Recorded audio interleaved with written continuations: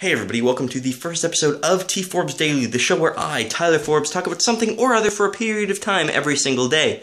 Now, some of you may be thinking, hmm, that's incredibly generic and non-specific. Well, you're right, it is incredibly generic and non-specific, but it's that way on purpose. You see, I'm a chronic procrastinator with a PhD in, well, justifying my own inaction. What that means is that I'll start something, get a little distracted, and then never get back to it again.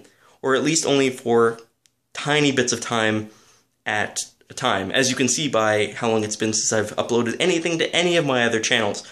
Basically, what I decided to do for this channel is make it as easy as possible. And to do that, I made very few rules for myself. Rule number one, I have to post something every single day. Rule number two, see rule number one, it's really that simple. So, some of it may be crap, a lot of it may be crap. Most of it is probably going to be crap, but that crap is going to be flying at your head every single day, whether you like it or not, Monday to Friday.